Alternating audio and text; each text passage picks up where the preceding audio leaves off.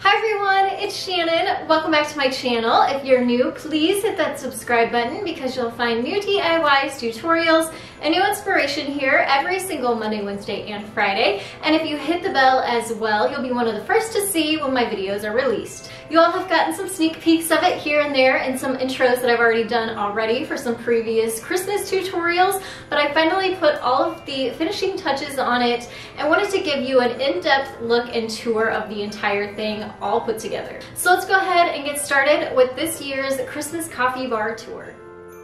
The bar has more of a rustic and cabin type feel. The hot cocoa sign at the top sort of was my inspiration. I pulled things that I already had from around the house and purchased a few new extras to really tie this look all together.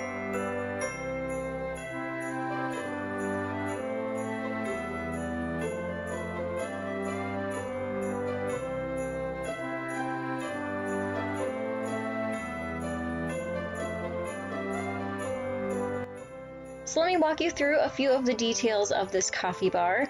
The sign that I mentioned earlier is from Michael's, but I also saw it at Joann's as well. The darker red tone is what I really loved about the sign instead of the brighter tones of red, so that's the colors that I sort of stayed with throughout this coffee bar. The lanterns that flank each side of the top shelf are a previous Target Dollar Spot purchase. I have some of my Rae Dunn displayed on the top here. The little sugar dishes are set on stands from Hobby Lobby, and the wreaths were from my stash. I want to say those were from Michael's several years ago, and I actually think those are candle rings. Now moving on to the next shelf down, I have my Christmas Rae Dunn mug collection hanging here, as well as some Target Dollar Spot items and some handmade items.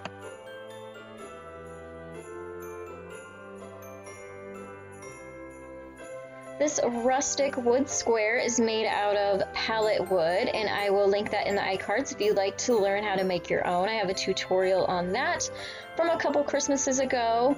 I also have a Sentimental Santa which my papa actually cut out and built and then my grandma painted. The crate and this cute Merry Christmas ornament are from the Target Dollar Spot. The pitcher and canister are Rae Dunn. I just turned them around and added a decal to the front of this one. The calendar is also from the Target Dollar Spot. I thought this was super cute because you can use it year round.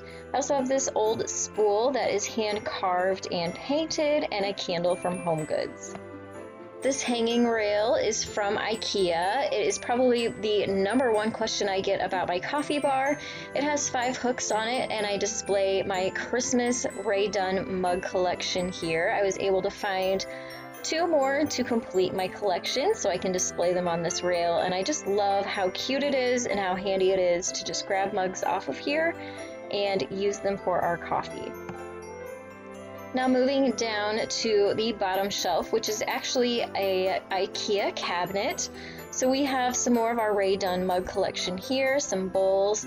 I was able to fit our small microwave and I keep my essential oils down here and baskets for items to keep those organized. And then on the top of the cabinet, I have a blanket scarf actually from Hobby Lobby. And then this small tiered tray is from the Target Dollar Spot. The Santa is from my childhood, it's a bank. And then I have a cute Mary Mini Rae Dunn mug. The bottom has a house from Target Dollar Spot last year. I have a cute, a couple cute little Christmas trees and a red truck in there, all next to our coffee maker. This marquee star is from Target several years ago. It's actually been our tree topper for a while, but it made its home here on the coffee bar this year. Here's are from the Dollar Tree. I just painted them and added decals to the front. Next to that is a metal tray from Hobby Lobby. I have another one of my grandparents' painted Santas and Rae Dunn collection on top of there next to a cute little tree. These little peppermint spoons are from the Dollar Tree as well, and I have some cinnamon sitting up there with it. Some more of my Rae Dunn collection, another one of my cute antique spools with a Santa carved into it. My grandparents gave me that too. And this little spoon rest, it says Fa La La, my Rae Dunn spoon rest. And then some Target Dollar Spot items back in the back. This cute little miniature tree in a basket is from Target. It's sitting on top of a tray that I handmade from spindles from an old baby bed or a crib. And it really helps to sort of balance the space since we have stairs coming off to the side there. I absolutely love how warm and cozy our kitchen feels with this rustic cabin look. I love the added chalk art that I added to the chalkboard background. It just gives that more personalized touch. I added some holly berries, holly leaves, and some little snowflakes.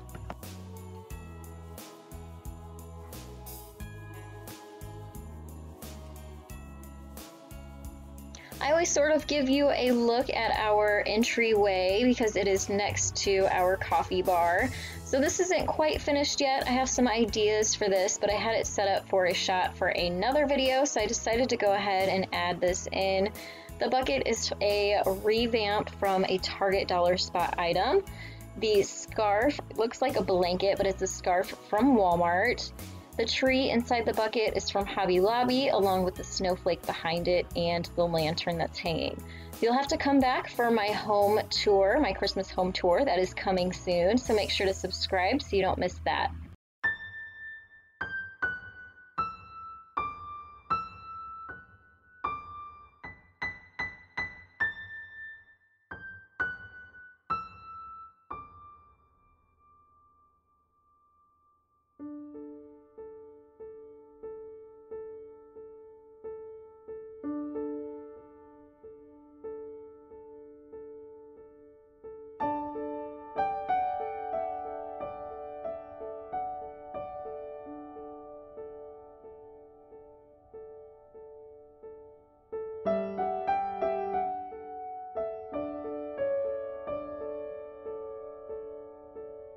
For joining me for today's coffee bar tour. I hope that it inspired you. Please give this video a thumbs up for me.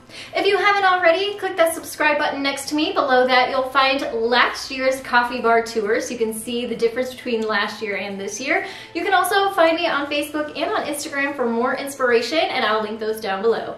Thanks so much for watching, and I'll see you next time. Bye, everyone.